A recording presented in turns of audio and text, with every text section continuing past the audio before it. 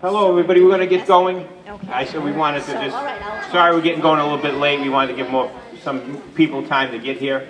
I'm Mike Thomas, the Deputy Superintendent of Schools, I wanna thank you all for coming out. Um, Safety and security has always been high on our list here in the Brockton Public Schools, uh, between uh, drills, um, uh, locks that we've done throughout the school system, uh, surveillance cameras, and again, the only school system in the state that has an academy-trained armed police force to protect our students and staff, um, who work very well with our students, with our parents. Um, and I'm happy to say we have five new officers starting. Um, they're now in training. They've come out of the academy. They're training with the Brockton Police. They do um, a few months of training with them, and then they'll be with uh, full-time with the school police within the next few weeks. So, uh, and we welcome them. I want to welcome some of our elected officials that are here tonight. I want to Dennis from Ward 3. And I saw Ann Beauregard from Ward Ward 5. I want to thank her for coming out. Um, School Committee member Joyce Azak from Ward 6. Thank you. And school, school committee member uh, Judy Sullivan from Ward 5. We want to thank them all for coming out. Kathy Smith, the superintendent, couldn't be here tonight. She is uh, receiving an award at, at Bridgewater State. Um, so she sends her regards and wants to thank you for coming. Uh, I want to thank the Attorney General's office for sponsoring what they call the Sandy Hook Promise. That's trainings that they do with our students in middle school and high school on um, awareness about mental health, awareness about violence pre prevention. Uh, so they are doing presentations in our schools. They started at Brockton High this week. Uh, they'll be working with our alternative schools and they'll work with our middle schools within the next few weeks before the end of the school year. Again, that's sponsored by the Massachusetts Attorney General's office and it's called the Sandy Hook Promise and you can find information on that on their website, the Sandy Hook, Hook Promise website. But again, it's about violence prevention. It's about uh, students recognizing when their peers are struggling uh, with issues. Um, so it's a really good program, and it, again, it came free of charge from the Attorney General's office. So I'm going to turn this over now to, um, to Tobias Cowens. Uh, used to work with the school department and still does. Uh, he used to be full-time with the school department with safety and security, but now he, um, he spent some time with the mayor's office as the assistant chief of staff and also works with us uh, on a lot of, a lot of our um, transportation, um, safety and security, bus evacuation drills, um, reunification centers. So Tobias spends a lot of time working on uh, with us with that. So I'm going to bring Ty Tobias up to say a few words. Thank you, Mike. Good evening, everyone, and thank you so much for coming out this evening. I started roughly with um, the school department back in 2015 under a REMS grant. And it was a $300,000 grant when times were good, right, Mike? And um, it allowed us to look at the safety system, not only in the state of Mass, but also around the country, and to look at implementing best practices. So over the past, I'd say eight or so years, we've made so many changes.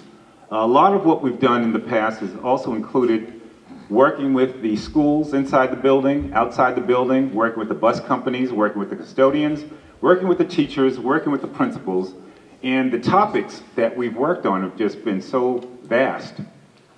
Um, you're hearing now in the past couple of years a lot about school shootings. Well, in the past, I'd say 15 years, there have been 13 school shootings in Massachusetts. Uh, 12 were fatalities. The one that occurred here in 2010 is the only one that occurred that was not a fatality. So we've been ahead of the curve.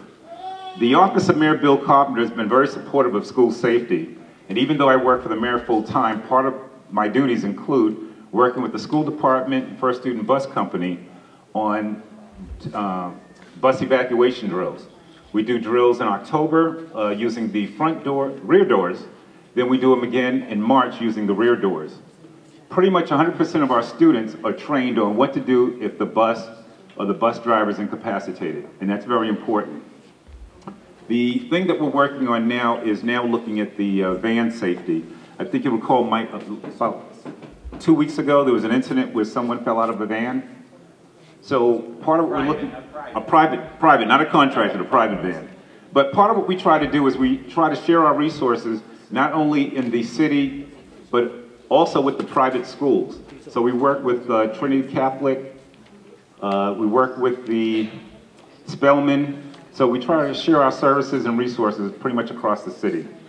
So on behalf of Mayor Carpenter, I'd like to also inform you about See Click Fix. Have any of you heard about See Click Fix?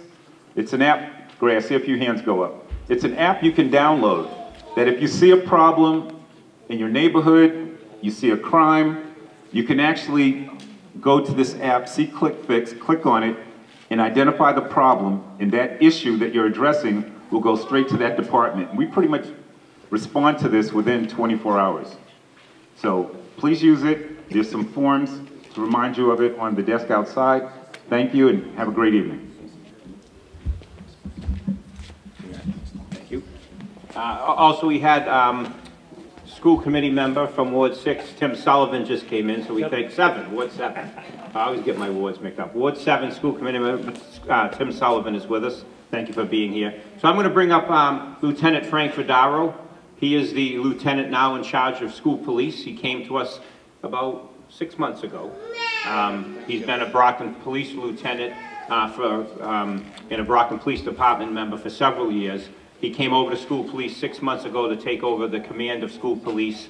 Um, As you know about when Tobias mentioned, there was a shooting on the steps of the gym of Brockton High back in 2010. It was during uh, basketball tryouts, and it happened at about 6 o'clock at night. At that time, the school police went through a restructure, and the city decided to bring over a lieutenant from the Brockton Police Department to be the commanding officer of school police.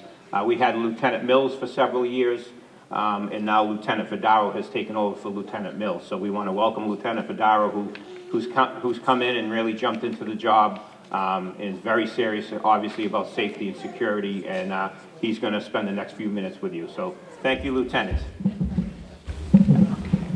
Good evening, folks. Thank you for coming out. I do appreciate it. Uh, This is my first rodeo with this type of a um, forum, so bear with me. Um, Like like um, Deputy Superintendent Thomas my name is Lieutenant Frank Fedaro. I've been with the Brockton Police Department for about 20 years now. Uh, Before I came over to schools, I was the sergeant in charge of the gang unit for Brockton PD, so quite a change. Um, I'm loving it. It's a, it's a good change. Um, That being said, there's my clicker.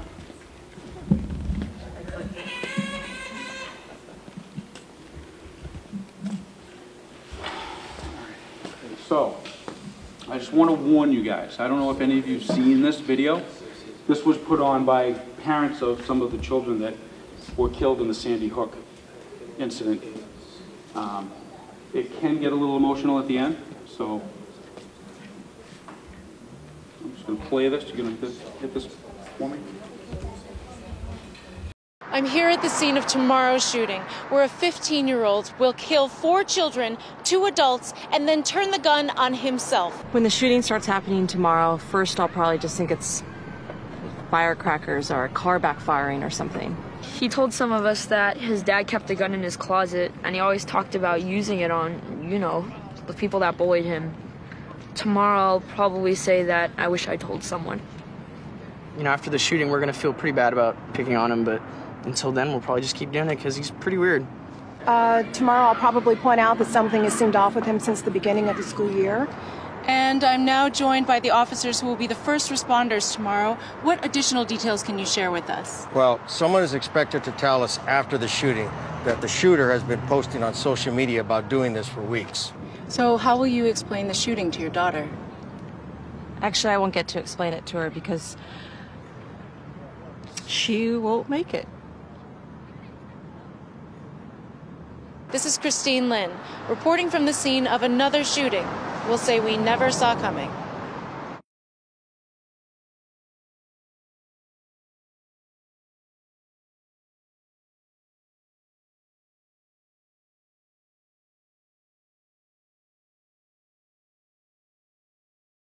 Okay, so I went back to 2013.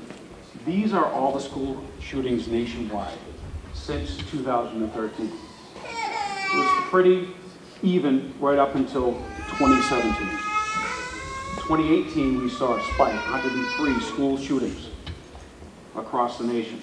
So far this year, in 2019, there's been 44 school shootings.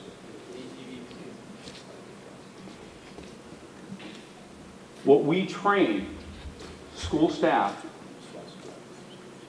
they are our first line of defense for our children. They are the front line. We're in the school system as police officers. We can't be at all of the schools. If this occurs at a school, first line of defense is the teachers. We train them in lockdown procedures based off of Alice. I'll fast forward to this. Alice is alert. You hear something, always assume the worst. You hear something that sounds like fireworks or firecrackers in your schools, always assume that it's, that it's real. This is no particular order to do this. We do not advocate locking down and hiding. This is something that you, the kids are just sitting ducks, like what happened at Sandy Hook. They were told to hide in a closet or a bathroom. The preferred response is to evacuate. Get the kids out. Even if the, if the shooter's right around the corner and you hear them and they're loud, get them out. Have them zigzag, get them out. If you have an opportunity to leave, get them out. The only time that I would suggest an enhanced lockdown would be if it's the first room that the guy walks into and starts shooting up out in the hallway. Lock the door, secure the door, barricade the door, and then do one of two things. Either get these kids out a window, get them out a back door into another room, or prepare them. Now, this is age appropriate. I understand that. It's going to be different at the high school than it would be for an elementary school. Teach the kids to pick, pick something up. And if that guy gets through the door, there's no other means of escape, they had to whip stuff at him as hard and as fast as possible while hopefully an adult or two are able to maybe engage with this uh, assailant and, and put him down, hold him down. You get a bunch of kids sitting on him, you get this weapon away from him, he ain't going anywhere until somebody comes to help. Um, so like I said, preferred response is to evacuate. That's what we're teaching school staff. That is utmost, and I will be going school to school next year. I'm, I, am new to this, so um, I just went to the Alice training. So I will be coming to all of the schools and individually training all of the teachers. Again, I know everybody's been trained, but we want to, we want to maintain your level of, uh, of, of practice with this so that it doesn't become something that you know you never do so it's not ingrained in you. Um, repetitive, doing this repetitively will enhance your skills and make you to, there's a, uh, there's a slide that's ahead that explains this. Most, most people in a situation like this, they either freeze, anxiety, uh, they experience disbelief, this can't be happening, and they don't actually recover from it in time. This training will help the teachers and staff and the children because we're training them too. Because they can carry this into, into their college life, into the workplace, because as we know, these, school, these shootings happen everywhere. Um, so this, this training will provide the teachers with a means to regain their composure a little bit quicker to jump on the ball a little bit quicker, to understand what's going on faster and be able to react quicker to what's going on. Um, and like, and like this slide, it empowers our children too to be active participants in saving themselves, in helping to save themselves. They come away with a better, a better knowledge and less fear of, of a school shooting because they'll have these options to fall back on.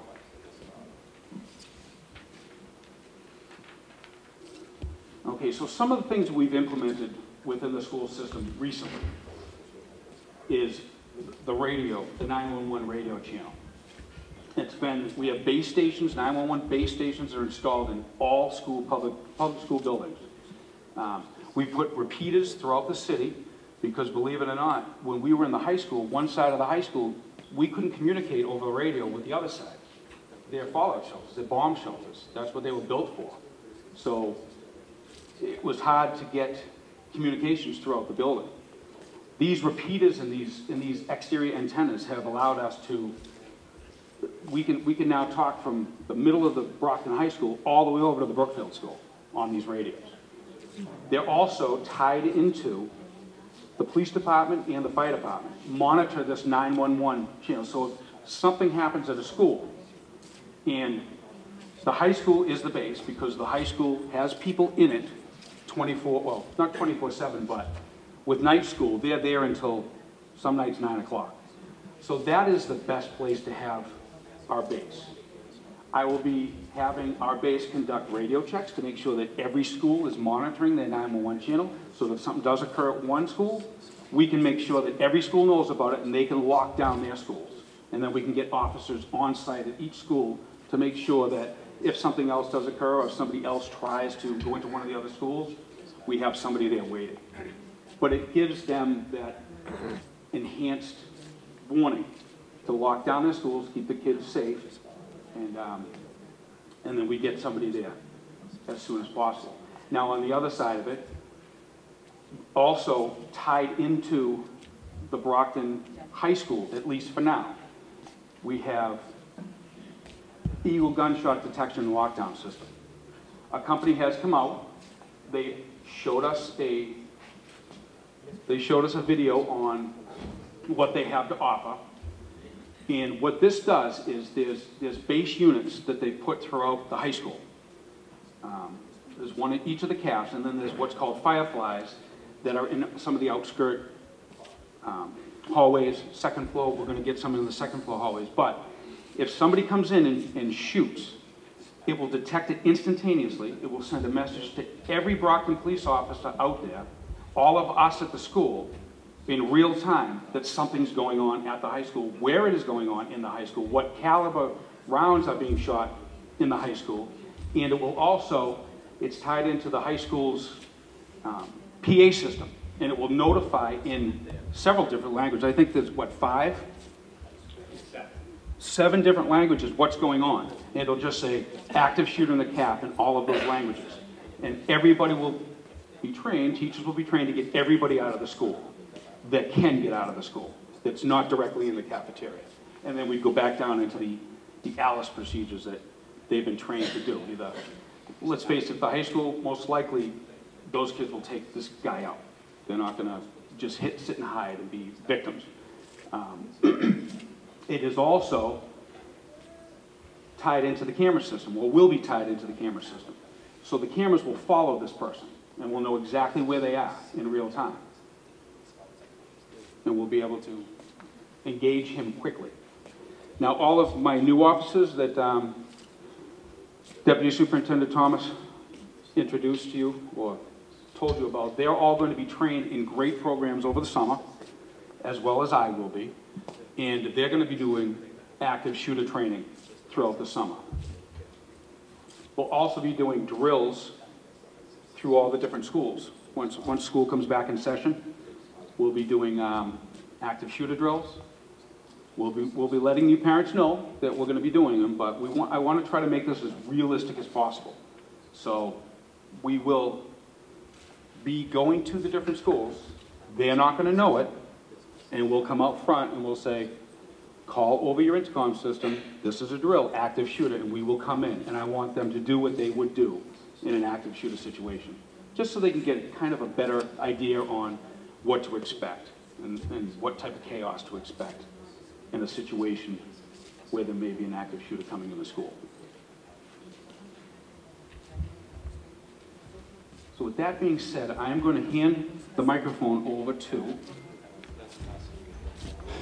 Officer Anderson and Officer Mosley, and they're going to go over some of the social media issues that we're dealing with, we're seeing in the schools.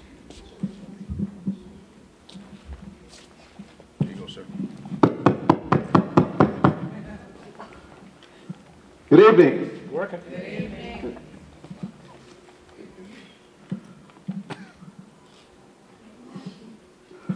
Good evening. My name is Officer Mosley. I'm with the Brockton School Police.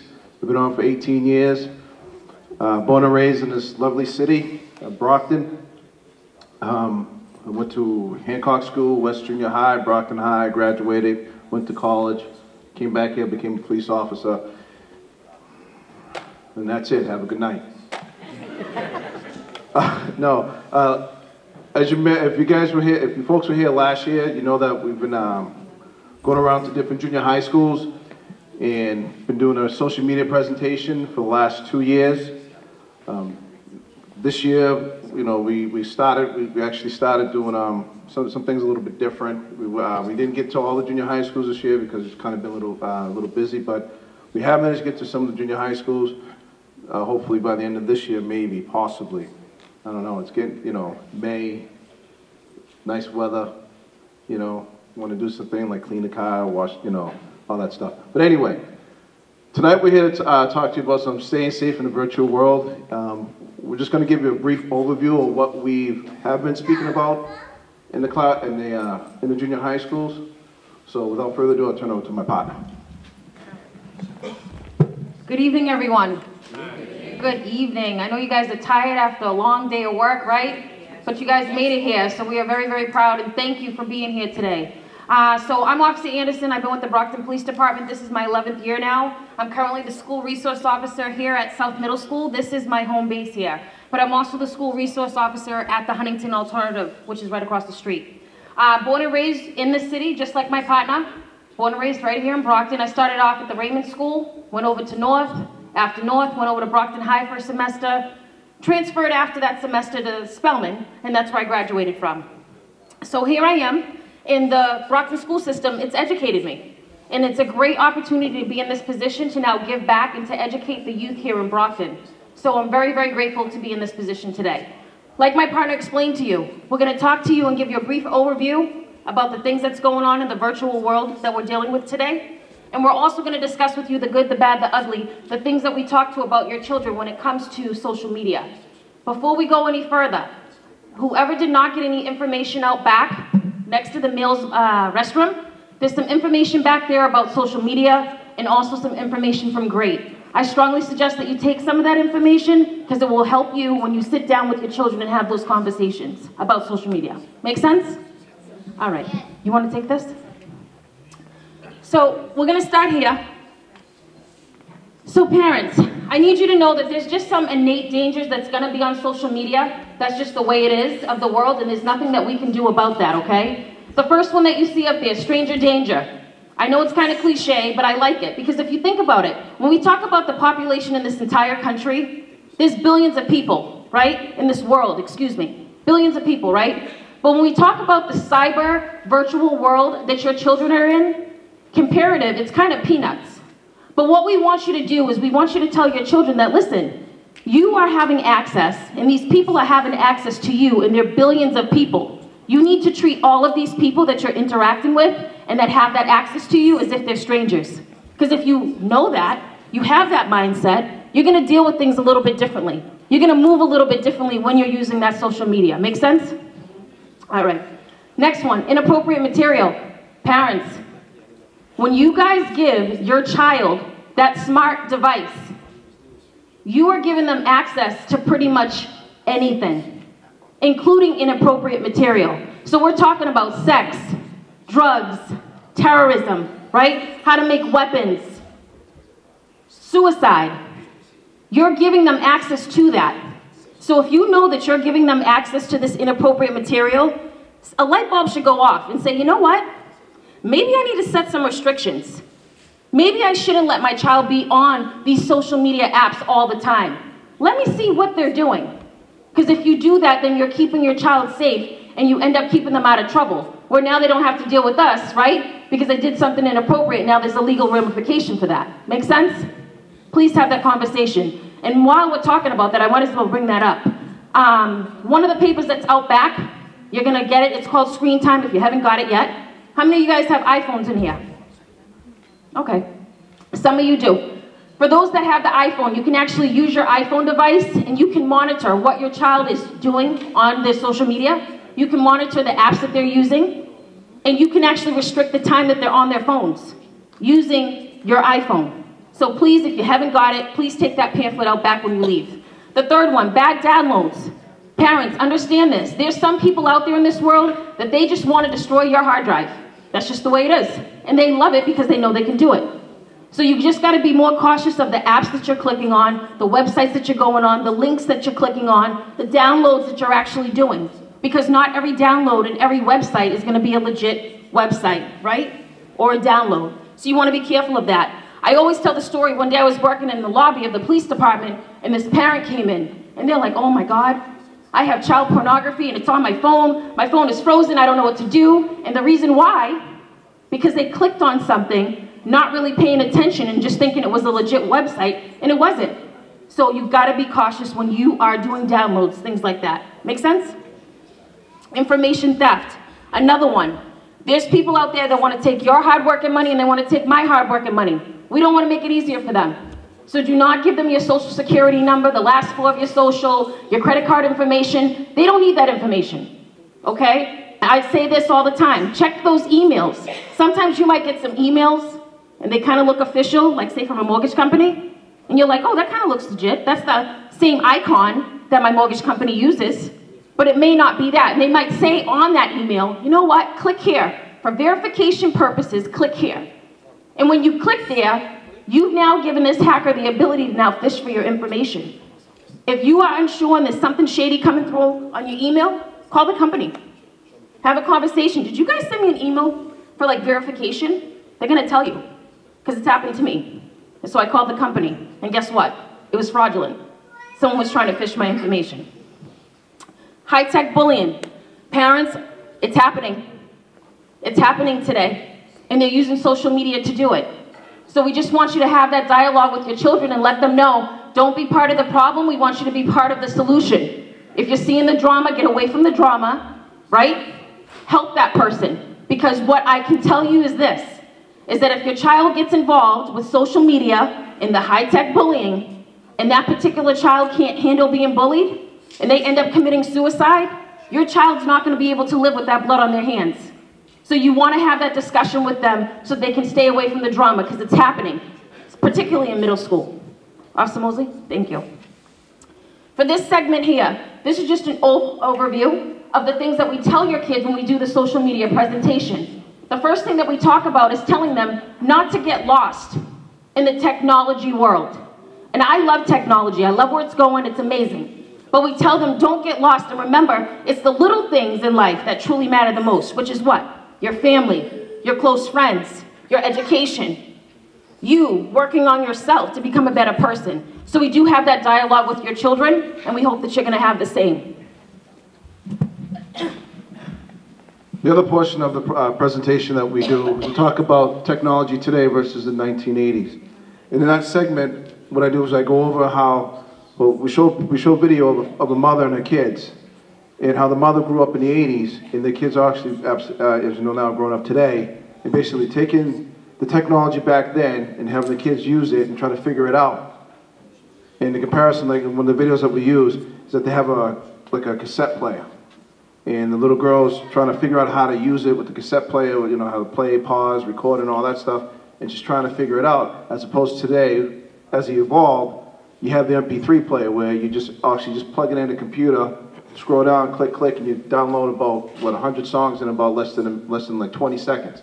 So there's another comparison we use in the videos. The uh, the two boys, they're playing uh, play, they're playing uh, Atari. Basically, they have control. Uh, what is it? A TV, the control monitor, and two joysticks. That's it. If anyone that's probably about 35 and older, you probably know what I'm talking about if you ever had an Atari. I'm, probably speaking another language when I say that, but it, believe it or not, before PS3 and in, in, uh, PlayStation 4, this thing called an Atari is very primitive. So, but anyway, in the video, what they do is they, they try to figure out how to play it. It's very plain and very, just the graphics on are, on are great. And then compared to today where we have the uh, Xbox and the P, uh, PS4, like you have the two boys playing, it's like virtual reality.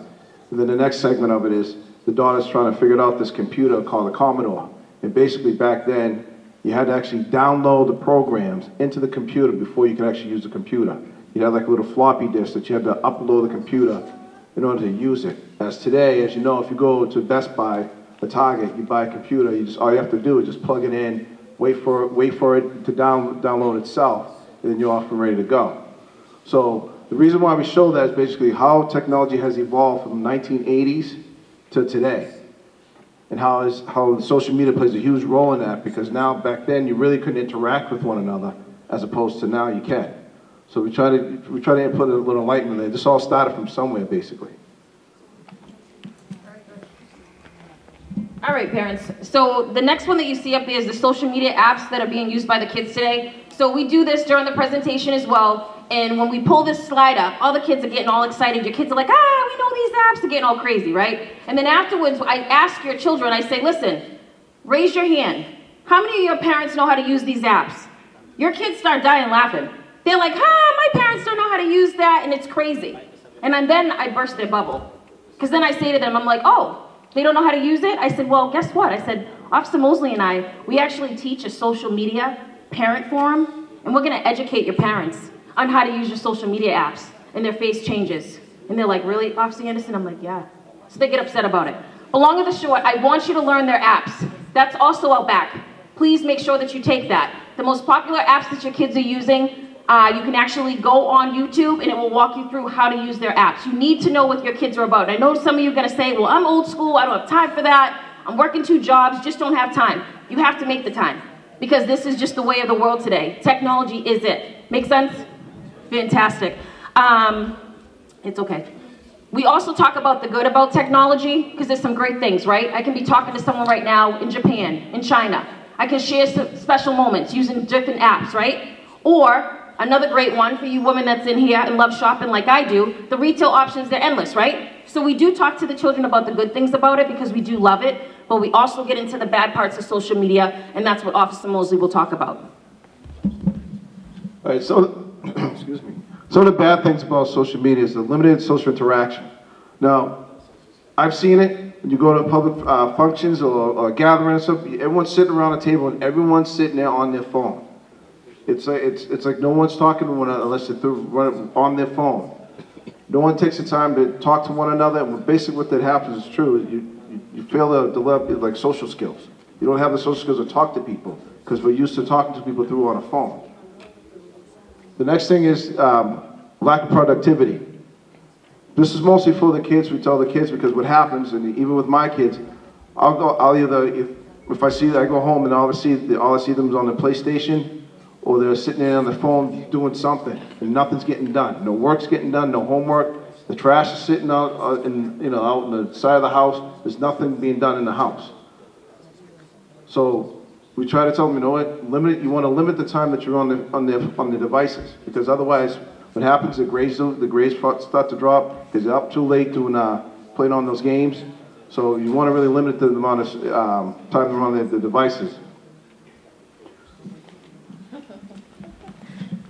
I think my partner had a brain freeze. All right, catfish.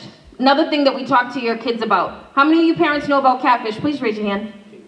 Okay, so we have actually a fair amount, so that's awesome. Okay, so for you parents that don't know about catfish, catfish is when someone is trying to pretend like there's someone else on social media or on the internet for the sole purpose of wanting to take advantage of your children, because that's what this is about, the safety of our kids, right? Trying to take advantage of your children, either in some monetary, like monetary way, they want to take money from them, right? Or in some nasty sexual perverted way. That's what catfishing is. So when we talk about this with the kids, I say to them, I say, so what cable channel has a reality show about catfishing? All your kids know it. They're like, MTV! So parents, if you don't know, Get familiar now. Go on MTV and you can actually watch the reality show and you can see exactly what catfishing is because it's happening. So when we discuss this with your children, we don't go in depth with it because we know that they know about it, but we actually just give them some tools on how to prevent themselves from being catfished. And now Officer Mosley will get into a child predator. Right, what is a child predator? When I go in this segment, I usually talk, tell them this, it's an individual that tries to prey on your child to try to groom them or coax them to meet them somewhere and do inappropriate things sexually to them. And one of the things that we show is a video of a guy who goes around with parents to see how well their kids are disciplined when they're using social media. And one of the clips we use is a female. The guy's in the van with the parents and he asks them, how well do you know your child? He's like, the mother's very confident. You know, we talk about, you know, online predators and being, being careful because a lot of what they do is what Nicole said is that they use this thing called catfishing to lure your kids into dangerous places. So he says, all right, so they test it out. He gets, he's on his, he's on his cell phone. He's telling him, hey, meet me out. I'm your, you know, friend of your friend's brother. Come meet me out in the van. Let's go hang out. Sure enough, she comes out of that house. The mother and father in the van with masks on. She hops in the van and they grab her. She freaks out. The parents are freaking out. The mother's, the mother's like angry as anything. And they go, you know, they go in this whole spiel of like, what have we taught you? You know, we talked about this stuff. You know, you know you shouldn't be doing any of this, any of these things. It, it's, it's really, it hits, it hits home, especially with the kids. At first, they're kind of laughing, but then when they see what happens, it gets really quiet in, in the uh, auditorium or, or, where we're doing this uh, presentation. Then the next one we use is a boy. He meets up with this. He wants to meet up with this girl named Amanda, and he goes over to her house. But what he doesn't know is that there's a guy waiting upstairs. Now the mother and this other guy who's doing this show are like in the other room. They're watching this, and the mother's just appalled. And she sees the guy come down the stairs, and he's sitting on the couch, and he's like, "Who are you?" And he's like, "I'm Amanda." And he starts screaming, and the mother comes in, and she starts laying into him, like, you know, what are you doing? You shouldn't be coming over people's houses you don't know. So you know, it's it's very it's it's like I said, it's very easy for kids to get drawn into that sort of thing because they're young, they don't know any better. You know, they want to hang out with with their friends, or they want to meet this person uh, to, you know, to either meet up and hang out or, or buy something, okay, the stuff like that. So what we try to tell them that your parents, again, parents got to be monitoring what your kids do, especially when they're talking to people that you don't know or they don't know. And they got to be aware of this thing called catfishing, which these child predators are using. That's right. That's me. All right. So next, thing so towards the end of the uh, presentation, we talk about social media responsibilities. Uh, first thing, again, you know, we tell the kids, ask your parents' permission before you go on any type of social media. Then after that, don't post anything when you're angry, because once it's out there, it stays out there. Okay, when you do post things, it offends people. Okay, it's very hard to try to try to reel that back in and try to backpedal, so we say, we try to make up for what you said. So you got to be careful what you say because you don't know who you're going to offend. All right. The other thing is, I just talked about, worry about uh, online predators. Okay? And the other thing is, don't air your personal business out there. Your business is your business, not the rest of the world's business. I don't need to know what's going on in your household. You don't need to know what's going on in mine. All right? The other thing, I think I'm done then. Um, the one other thing, one other thing is, set all privacies on, the, on your devices, to, uh, again, for your child's protection. All right, parents, as you can see, these are the social media issues that we're dealing with the most in middle school and in high school, and it's starting to trickle over a little bit into elementary school as well, so we're just gonna briefly talk about those. Number one, students sending sexual images or videos of themselves to others. It's happening. And I can tell you right now, it's more so girls than it is the boys, but the boys do it too. And so what's happening is that this girl, sometimes the boys as well, they have their so-called boyfriend or girlfriend, they're in love, they then send a partial nude or sometimes a nude image of themselves to that particular boyfriend and girlfriend. Then after those two break up, what do you think happens with that photo? It's being sent to all their friends. And before you know it, that photo is all over the school. And now that daughter or that son is saying, well, I'm getting bullied now, and they're feeling embarrassed because they know that they messed up from sending that image to begin with. So you need to have that conversation with your children because we're dealing with it all the time. In a moment, we're going to talk about the legal ramifications of that, but I need to make you aware you have to have that conversation with your children. It can't happen because we're dealing with it every day in the schools. Uh, sexting, it kind of goes hand in hand. I know some of you, your kids, they're probably saints in front of you, but you have no idea. When we sometimes look at their phones, the things that they're saying on their phones, it's crazy. So what I'm getting at is this. Take the time to look through your, how many of you guys are actually looking through your children's phones? Like every day or every other day? You have to. How many of you guys have the passcode to your, uh, your kids' phones? Good. You have to have that information and let them know it's not your cell phone, it's mine. I paid the bill, right? Exactly. So you want to make sure that you are staying up on, you know, up on things and making sure that you're checking their cell phone all the time. Online social media bullying, we've already spoke about that. It's happening, it's using the Snapchat, it's using the diff different applications. So what ends up happening is that two kids, they end up having a beef, they then create a group chat with their crew and with the uh, enemy's crew, and now they're all talking reckless on this particular app, and the next thing you know, they're setting up a fight, whether it's at a McDonald's or at the local park. And now we're involved. Have the conversation, stay away from the drama. Please have the conversation. And that's where harassment and the fights tie in. Officer Mosley? And last but not least, just so that you guys have an idea, so when you do talk to your children about not sending the partial nudes or the nude photos and things like that, we just want you to know, the first one, if you view, obtain, record, or send sexual images of a person, it's a felony. You need to tell your children this because when we deal with the kids, they're like, I didn't know that that was like a crime. I didn't know that that was a felony. Oh, yes, it is. So just so you know, if your kid gets caught up with this, they can be arrested. And if they are arrested while the case is pending, they will be separated from school. And if for whatever reason it ends up coming back that they have a guilty verdict, your child can end up in a juvenile lockup facility. And as far as the school side, they will be expelled from school. Please have that conversation with your children. The next one, sending sexual images or videos to a minor. That's not really for your children, but that's like that child predator that we're talking about that will try to groom your child using one of the gaming consoles, right? Or using one of the social media apps, trying to pretend like they're your kid's age when they're really not. That's what that's for. It's a felony. And we will do whatever we need to do to find them because that's one thing we don't tolerate is pedophiles. So we will find them. So we just hope that your, excuse me, your children will be comfortable enough to go to you about things like that. And the last two, Officer Mosley, thank you, is harassment and cyberbullying. They kind of go hand in hand. All it is is unwanted, constant communication with another person. It can be online, what'll make it cyberbullying, or it can be texting, personal confrontation, telephone, anything unwanted, and numerous times of it happening. Your children can get charged with this crime. I tell your children this when we do the presentation. You have a responsibility to come to school, get your education, and mind your business. That's it. It's pretty simple.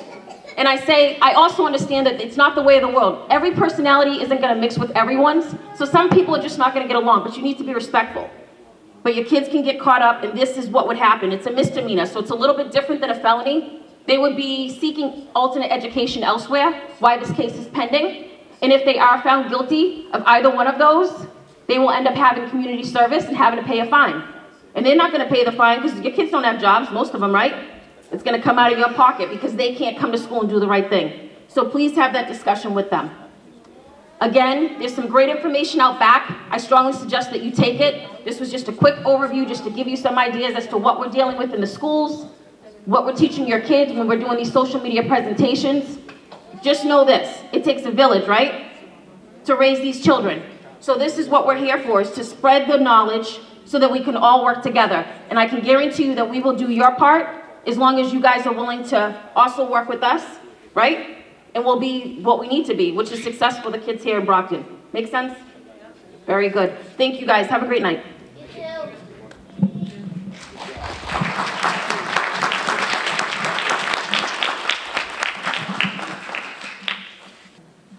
Good evening, everybody. For those of you that haven't met me, my name is Officer Nancy Lieberg. I've been with the Brockton Police Department for 24 years. I said that really quietly, right? Um, just to tell you a little bit about my career, uh, I was at the George School teaching fifth grade, and one of the first graders came up to me and said, My mommy wants to say hi. You were her grade officer. I'm just like, I've been doing this forever. but great officer, as uh, Lieutenant Fedaro mentioned earlier, we're actually training five of the new guys that are coming out to be great officers. So hopefully in the near future, you will see some more interactions with the school police and school resource officers in the schools, which I think is fantastic. Now, I promised myself tonight I was not going to make this a TED Talk, but for those of you that like TED Talks, and you guys are translating this as I speak, so that's great. TED Talk, I'm sure that translates very well. Um, the oldest study, the Harvard Grant study, um, there's been tons of TED Talks on it, what was the number one thing that they said that parents need to do when the kids are young to ensure health, happiness, and success later on in life for kids? Anybody remember or know or watch it? All right, I hope I converted you all to TED Talker watchers because it's awesome. Uh, it's this Dr. Julia Haims, and she basically breaks down the Harvard Grant Study. It's been in uh, fruition for the last 80 years. They say that giving kids chores now in middle school and high school is one of the most important things to make them productive members of society, healthy and happy, and to feel that they're contributing to the family unit, with or without allowance. I think that's fascinating. So that's obviously what I do in my spare time. I'm telling you guys way too much about myself. Um, so this evening, the only thing between uh, you in dismissal for the night is a quick talk on drug education. Now, I promised it will be brief, but there are things that you guys need to know because things have really changed. I'm not going to go over the stats, but I do want to point out one of the most important things. Um, the drug uh, industry, $500 billion industry, only two cents on the dollar goes toward prevention and treatment. So that should kind of give you a scope of the problem in trying to educate young people on the dangers of drugs. I come from the generation where we had the video where this is your brain on drugs, and it was the egg in the frying pan, and that was it. Uh, that, that PSA has obviously morphed into a much different PSA now, where she totally wrecks the uh, kitchen with a frying pan. Everybody know that PSA? So um, the important thing to note from the statistics is that 90% of people that struggle with addiction, substance use disorder, began smoking, drinking, or using other drugs before the age of 18. So keep that in mind because we're going to talk about that in a minute. Actually, we're going to talk about it right now. Um, delaying first use reduces your likelihood of becoming addicted by more than 90%. So if our message to young people can be delay first use until after your brain is fully developed, that's a win because we can reduce the likelihood of them being addicted to anything by 90%. And uh, this is like the stuff that we should be screaming from the mountaintops. Everybody should know this. This should be common knowledge, and it still isn't.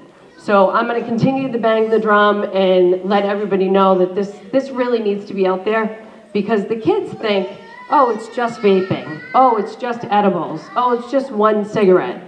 And if their brain is not fully developed, which is younger than the age of 25, they can cause much later in life problems. So on the note on vaping, and I didn't want to bore you guys with showing you a bunch of vapes because I thought that would kind of bring this down. So I feel like I should have because a couple of parents said, well, I'd like to see them. I could have brought them in too, but basically if you go online and all the Google images of all the available vapes are there, kids can vape what they call flavors. And when a child tells you they're just vaping flavors, it's just vape, right? So they think it's just water. But actual, in actuality, that delivery system contains aerosol. So it is as harmful as smoking cigarettes, if not more harmful. Um, the other thing is a study that was recently done that out of all the vaping flavors that said they are nicotine free, more than 90% of them, of the vaping juices tested for nicotine. So I think that's kind of important for parents to know because they're being told by their, their children that it's no big deal. And then certainly we have the vaping where it can include marijuana and other drugs. Um, we did want to give a quick overview of what I call the perfect storm. So when we talk about adolescents like middle school, basically what you need to know about middle schoolers is they're very instant gratification, they're risk taker, they're risk taking, they act first, they think later, uh, less than optimal planning, and I know you guys know because any parent here that survived the science project in what is that, eighth grade, you know about optimal, less than optimal planning because they'll spring this kind of project on you at the last minute. And that's basically adolescence. So teaching them to prepare for the future is kind of tough when their frontal lobe isn't fully developed and they can't really think about the future, which is why it's so important for them not to damage that frontal lobe by doing drugs or alcohol. So uh, on the conversation, and it's a, sometimes a philosophical debate on whether or not marijuana is addicted, this is um, a screenshot that I took from Dr. Ruth Potee's presentation. She's the Greenfield Medical Director. She's done a lot of extensive research in this area. There's no news here that you can see the most addictive nicotine down to heroin, cocaine, then alcohol and marijuana. Um, pretty much everybody knows the level of addiction with certain drugs. She likes to point out where teens uh, start, when kids start with marijuana in their teens, they increase their level of psychological dependence by 17%, and teens that use it every day have a higher dependency as well. And again, there's no news here, but I think it's important to point out because a lot of students will say to their parents, it's no big deal, everybody smokes weed. And that's not true. That's absolutely not true. And again, the problem is their brains aren't fully developed till 25. So if they start putting in these illicit drugs, they're gonna, they could put themselves in a situation where they're gonna have problems later on in life. The uh, school nurses who sometimes or all the time are dealing with the edible situation in the school system uh, asked me to point out tonight the difference between smoking and the difference between ingesting edibles. And I think, as the slide shows you, uh, when you ingest um, marijuana and THC, it takes 30 to 90 minutes to take effect, but then the effect can last anywhere from 4 to 12 hours. Whereas if you smoke marijuana, it peaks faster within half an hour and it drops off within probably two hours. And the THC levels in marijuana joints in like the 70s and 80s was maybe 2 or 3%. And the THC now in 2019 is upwards of 25%. So it's a much different drug in and of itself. The edibles, totally different. The initial loading or, or, the initial dosage that they're recommended in Massachusetts for the medical marijuana is five milligrams of THC. And that's for an adult over the age of 25. The kids are getting a hold of uh, gummies that have THC of 15 milligrams in each gummy. And because nothing's happening within the first 30 minutes, they're ingesting two or three. So they're doing anywhere from 45 to 60 milligrams of THC. And as you can imagine, within four hours, it's, it's chaos. It's a complete crisis for the child. So um, those of you that have edibles in your house for whatever medical reason or other recreational, it's a very personal decision. Our suggestion continues to be the same as always, where you should be locking that up and having it out of the control of, of younger people. Because the kids will bring it to school and they'll kind of pass it around like it's no big deal, it's just a gummy bear or gummy whatever that they're eating. In the drug presentation, uh, before I came back to working in the schools as a school resource officer, I did a stint as the opioid outreach coordinator for the police department.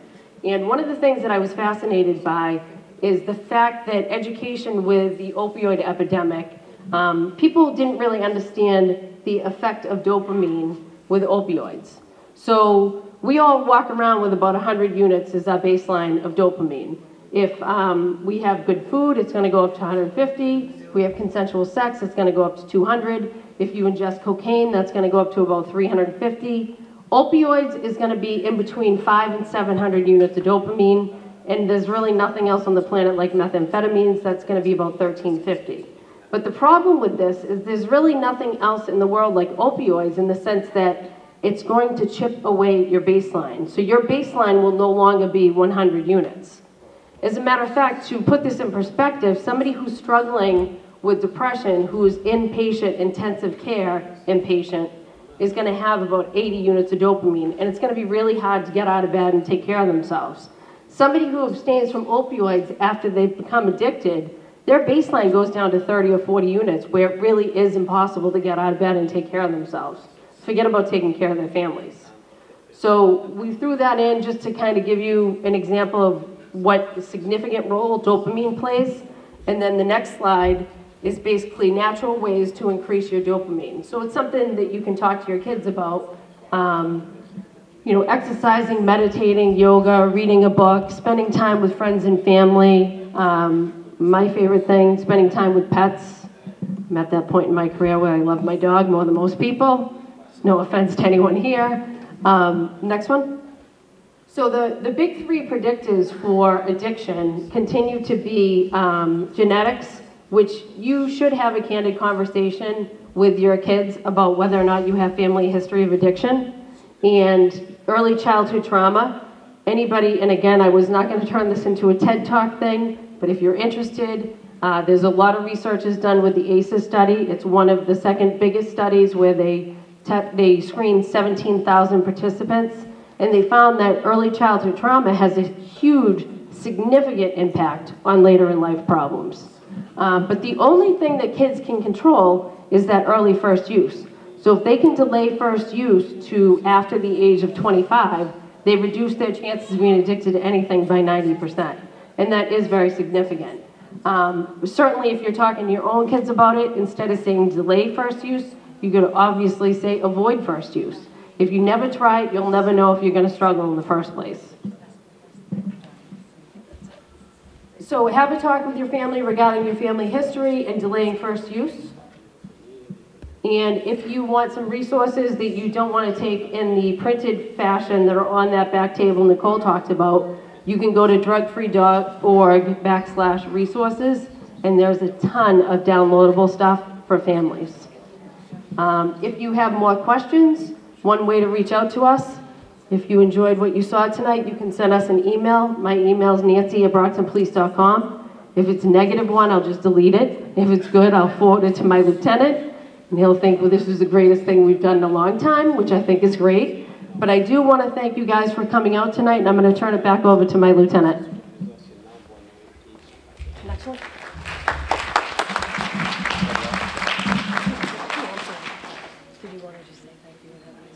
Think Mike's coming down too. Okay, I hope that you've all enjoyed this and you've taken a lot of information in tonight. I understand that. Um, and like Nancy did say, if you have any question, you can always email her. You can email myself. Um, I'm at fvadaro, common spelling, at brocktonpolice.com or Frank Fedaro at bpsma.org. Once again, thank you all for coming in tonight. I'm going to hand this over to Deputy Superintendent Mike Thomas. He'll say a few words. Thank you, Lieutenant Fedaro. Let's thank them again for their presentation. Also, um, Tom Minichiello, the Vice Chair of the School Committee from Ward 1, um, he came in during the presentations. He's here as well. And I also want to say one more thing about the school committee. As you know, um, the school department over the last five years, um, we've unfortunately cut over 200 positions due to budget cuts. But one thing the school committee and the mayor's office has always done is made sure the budget for safety and security stays solid. Um, they've always done that, and it's very important to know that um, the people that um, come up with the budget, make sure that they put enough money in to make sure we're able to do the new entrances you see at most of the schools. We have a few left to do. The surveillance cameras, the, the fobs um, for staff to get into the building, the IDs, um, the door locks that are the, um, the most up-to-date door locks that they make for schools. Um, those kind of enhancements to schools and buildings, it, costs a lot of money. We do a lot of things in-house because we do have in, in-house craftsmen uh, that do the work, but it still takes a lot of money to employ them, buy the materials, and also what we've done with school police with the new hires. So I want to thank the school committee and the mayor's office for always putting safety and security uh, near the top of the list in, in very tough, um, you know, times with, with the budgets. They've always kept safety and security at the forefront, so we thank them for that. Again, thank you for coming tonight. We'll be around uh, for a few minutes after, so feel free to ask us any questions. And thanks again. Thank you.